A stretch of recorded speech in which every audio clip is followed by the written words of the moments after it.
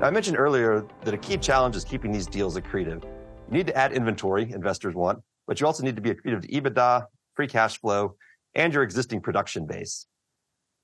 This graph is showing the total deal value or enterprise value divided by the CPV, which is our estimate of PDP value on these deals, with a number greater than one, meaning that you paid for upside, and less than one, meaning that it was PDP or PDP exceeded deal value.